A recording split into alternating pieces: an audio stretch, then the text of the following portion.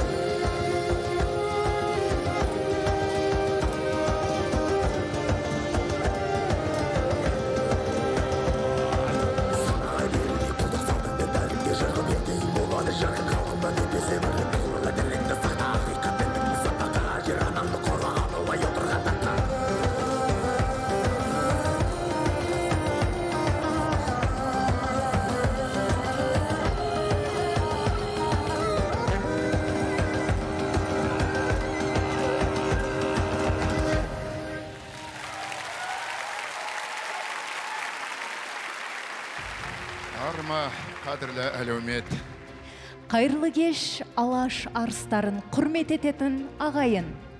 Тәуелсіз қазақстан тарихында есімі алтын әріптермен жазылған көрнекті қоғам және мемлекет қайраткері ғалым ұлт азаттық қозғалыс көсемі әлихан бөкейханұлының 155 жылдығына арналған кешімізге қош келдіңіздер.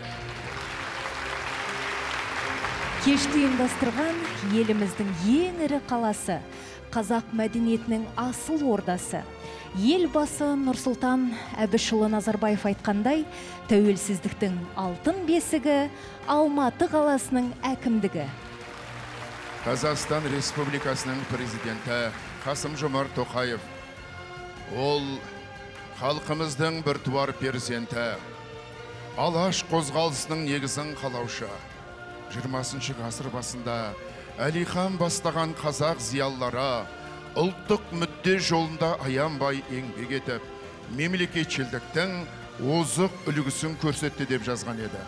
Иә байтақ даламызды отаршылдардан қорғап қалудың жолын іздеп азаттық жолында жанын қиған боздақтар әлихан бастаған алаштың біртуар азаматтары алаш идеясын дүниеге алып келді.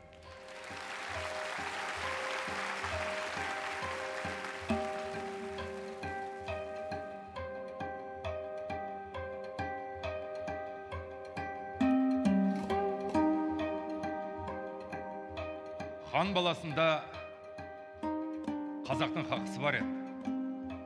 Тірі жүрсем қазаққа қызмет қылмай қоймаймын. Тірі болсақ алдымыз үлкен той. Алаштың баласы бүгін болмаса да жақын арада өз тізгіні өзінде бөлек мемлекет болар. Бостандыққа апаратын жалғыз жол ұлттық ынтымақ қана. Бірліктен айырылған ел қаңғып қалады. Ұлттың жоғын ұйықтап жүріп емес ояу жүріп іздеу керек. Қазақ баласы бірігіп тізе қосып іс қылса халықтық мақсат сонда орындалады. Ата бабамыздан ұрпаққа мұра болып ұлан ғайыр дала қалды. Ол қазақтың жаны. Жерсіз халықтың ұлт болып жасай алмайтындығы белгілі. Азаттығын аңсаған алаш перзенттерінің арманына куә өзіңсің.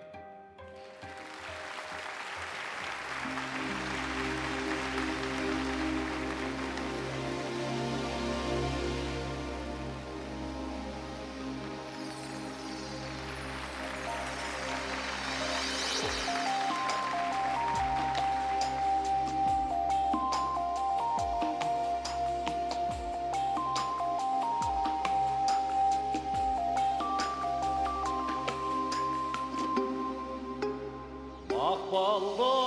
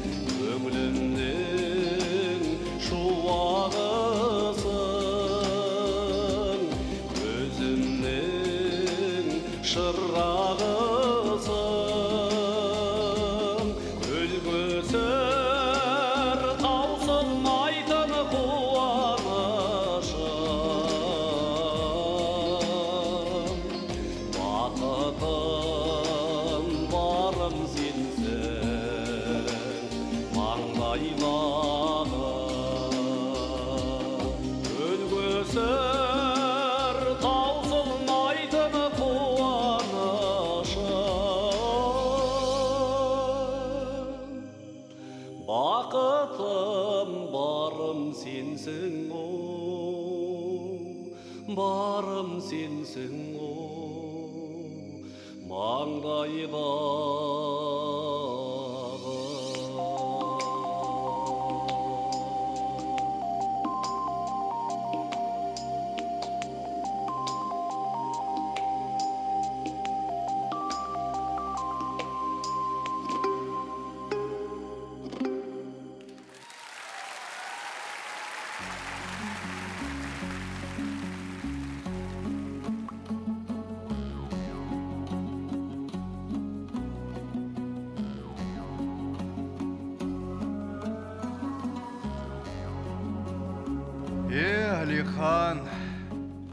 Алиханым ай. Қырағы, қия жазбас сұңқармай, қажымас қашық жолға тұлпармай. Үйілген өлексені өрге сүйреп шығарма қыр басына, іңкәрмай. Жарқырап жақсылықтың таң атпай тұр, түнерген төбемізден болт арылмай көк етті көн терлі көніп қалған ессе де шыдай беру жұрт жарылмай. Кім біліп ер еңбегін сезіп жатыр. Кім шыдап жолдастыққа төзіп жатыр. Сасық ми салқын жүрек санасыздар. Алаңсыз ақ малтасын езіп жатыр. Е, айтқанмен таусыла ма оны мұны. Талайдың таңдамалы түпкі сыры. Жанасқан жүрегінде жақындық аз Көбінің іші салқын сыртақ жылы. Ақшаға абыройын арын сатып Азған жұрт адамшылық қылмай сыны жан ашып жақын үшін қайғыра ма жаны мал жақыны мал малдың құлы.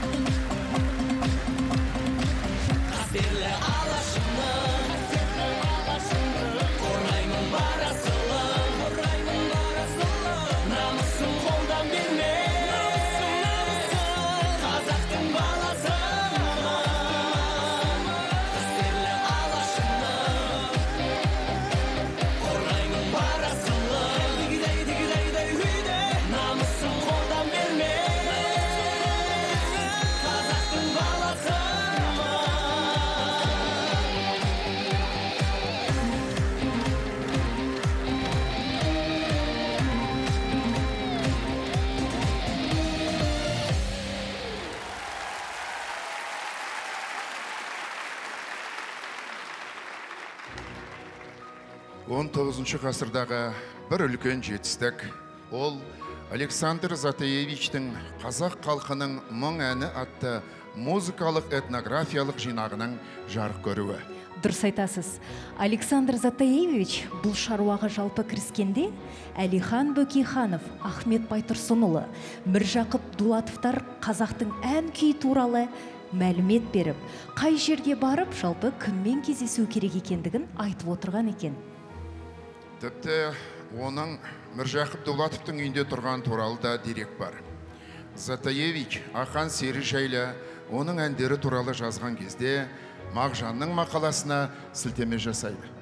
Иә осылай қазақтың мың әніне әлихан бөкейханов бастаған темірбек жүргенов бейімбет майлин міржақып дулатов сонымен қатар жүсіпбек аймауытов сияқты алашордашылар тікелей атсалысты сол шақта қағазға түскен жауһарлардың бірі ақан серінің әні бал хадиша сахнада сержан мұсайын қошеметтеріңіз.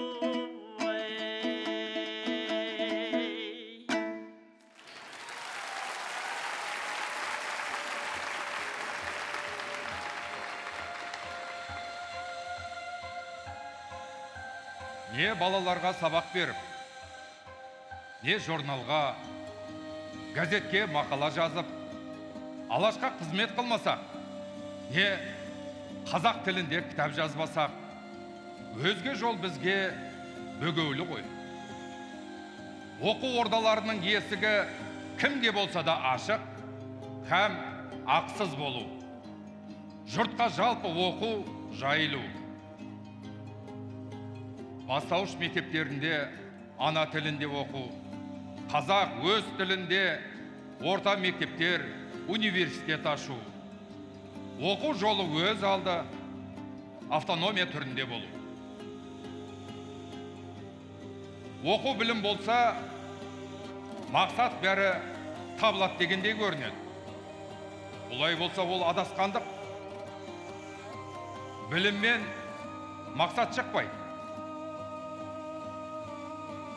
ібіліс жұмақтан білімсіздігінен қуылған жоқ имансыздығынан қуылды. Олай болса ұлтына жұртына қызмет қылу білімнен емес мінезден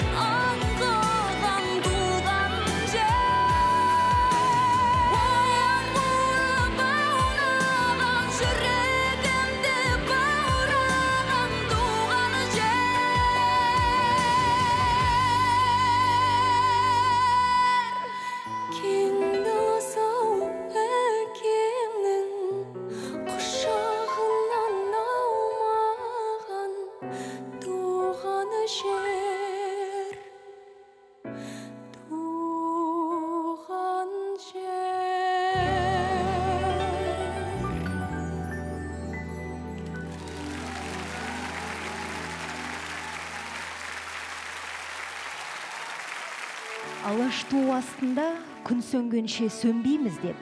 Алаш идеясына адал боп өткен аяулы ақын сұлтан махмұт торайғыров семей қаласында оқып жүргенде таныстыру атты поэмасын жазды. Иә ақын піл туындысында алаш қайраткерлеріне жеке жеке тоқталып мадақ айтады. Әсіресе әлихан бөкейхан ахмет байтұрсынұлы міржақып дулатов туралы толғанғанда бірі күн бірі шолпан бірі айым деп оларды қатты құрмет тұтатынын білдіреді.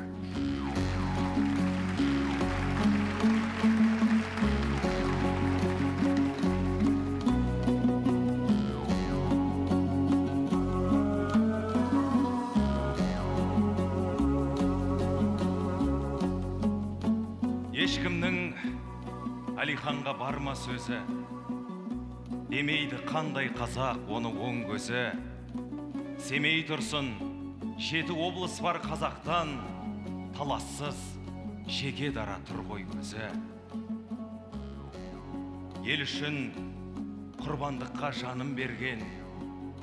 Бейт бірге қан далаға қаным берген. Ұрыдай сасық ауа темірлейде зарығып алаш үшін бейнет көрген. Түймеге жарқылдаған алданбаған басқадай бір бас үшін жалданбаған қайткенде алаш көркейер деген ойдан басқа ойды өмірінде малданбаған. Заманда басқан аяқ кейін кеткен жасымай алашына қызмет еткен болса да қалың тұман қараңғы түн туатын бақ жұлдызына көзі жеткен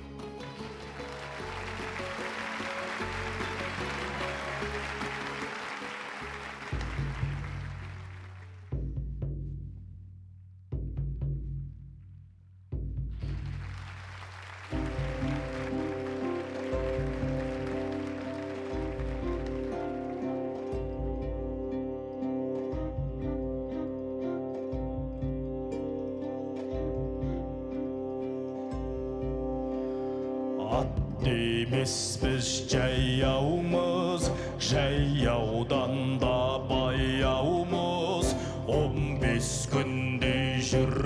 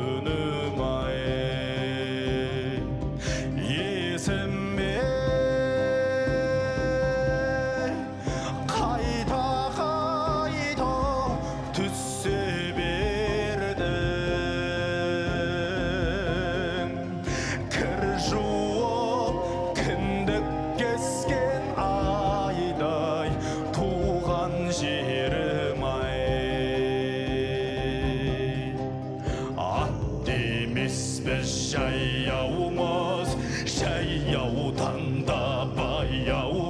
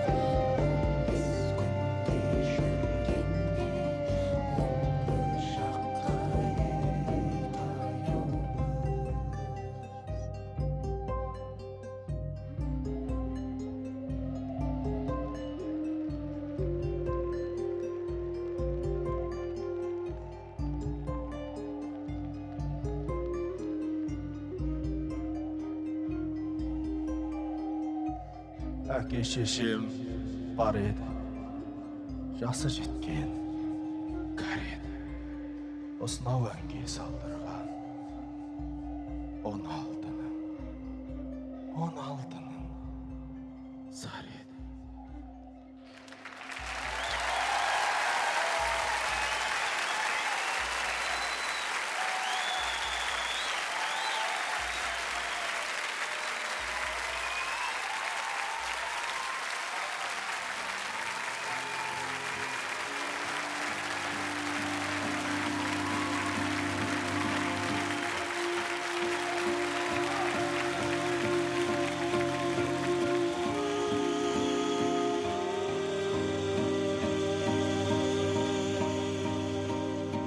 Швейцария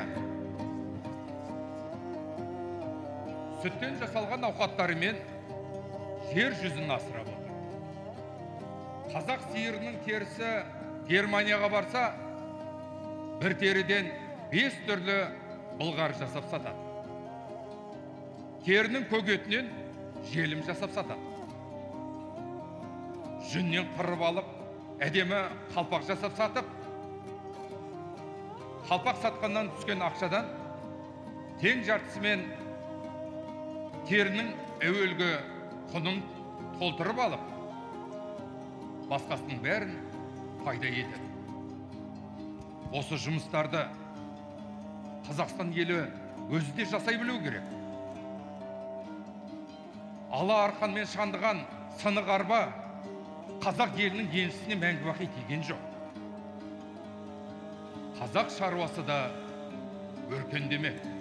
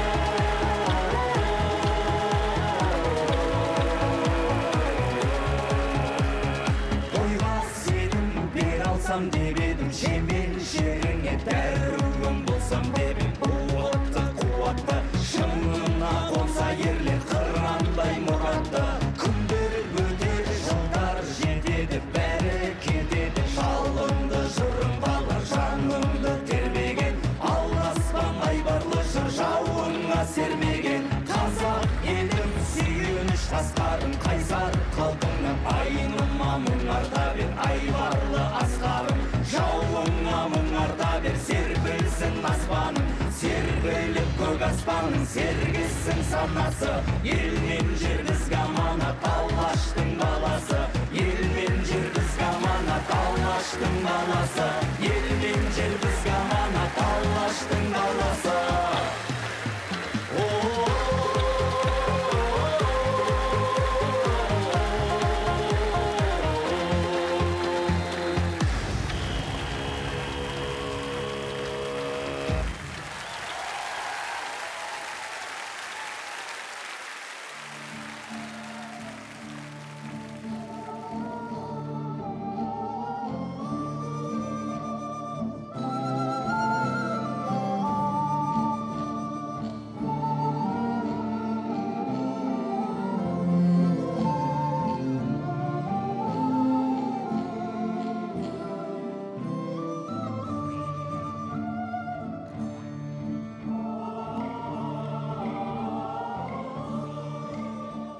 озғандарға жету керек.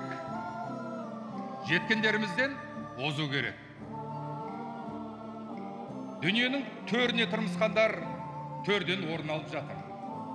Тырмыспағандар есікте қалып жатыр. Есікте қалмайық тырмысалық.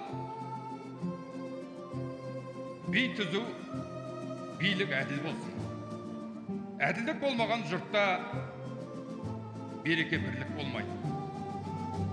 Байлықты өнермен шаруамен қызметпен іздемей жұртты тонап момынды жылатып іздеген мырзалар қыстың күні үңгірде жатып өз аяғын өз сорған аю секілді.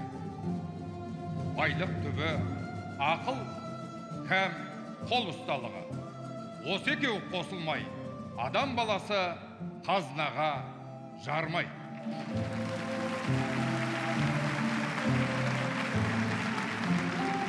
надандықтан екен білмейміз бе?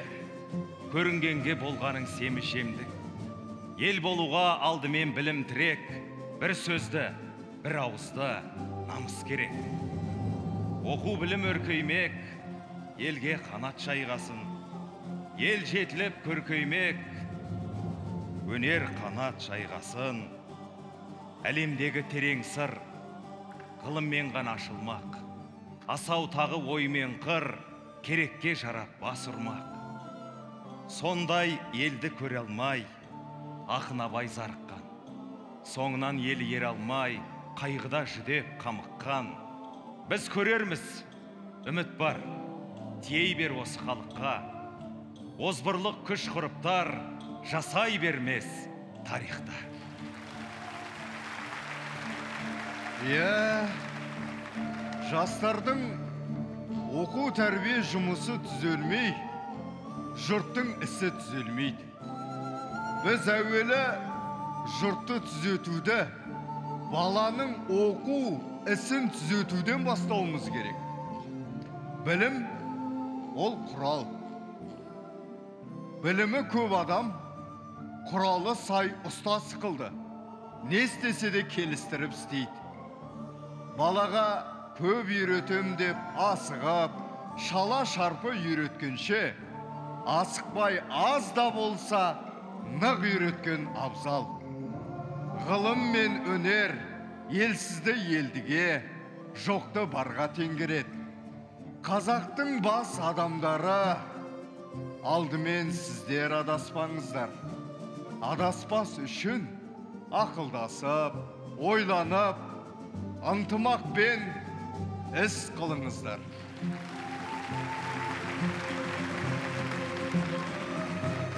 өнерге ұмтыл. Өнерді біл замандас. Қамдан.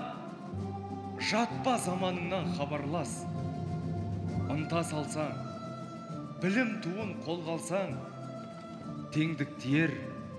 Ешкім күйе жаға алмас шөлдеп тапқан судан басын ала алмас. Шөлдемеген суға басын сала алмас. Жаста сіңген басқа сіңген тәлімің өзің өлмей сүйегіңнен қала алмас. Жаста жақсы мінезді іздеп ала алмас. Онда біздей хайуан тіпті жаралмас. Іс құдайда ерік біреуде дегенмен біз қозғалмай жау жабдығын жаба алмас. Құдай жазды менде не бар дегенмен мұның бос сөз пешнені өкпең қаба алмас арыстандай айбатты жолбарыстай қайратты қырандай күшті қанатты мен жастарға сенемін. Жас қырандар балапан жайып қанат ұмтылған көздегені көк аспан мен жастарға сенемін.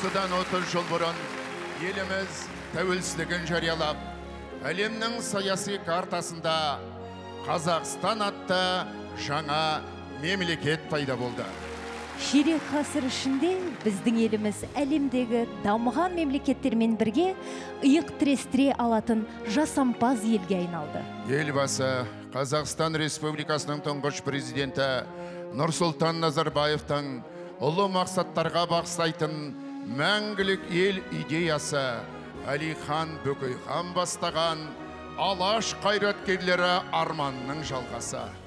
Қазақстан жаңа күннен жақсылық күтіп ынтымақ пен бірлікті ту еткен мәңгілік ел. Азат аспанымызда күн нұрына бөленген көк байрағымыз желбірей берсін. Тәуелсіз еліміз тұғырлы болсын. Алматы қаласының әкімдігі сіздерді тәуелсіздіктің 30 жылдығымен құттықтайды. Азат еліміздің аспанын бұлт шалмасын. Келесі кездескенше аман сау болыңыздар.